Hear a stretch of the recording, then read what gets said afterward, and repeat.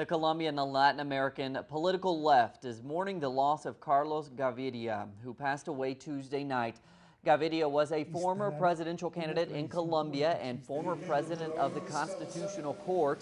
As a prominent member of the Latin American left, Gaviria was a vocal opponent of former president and current senator Alvaro Uribe. Gaviria was 77 years old.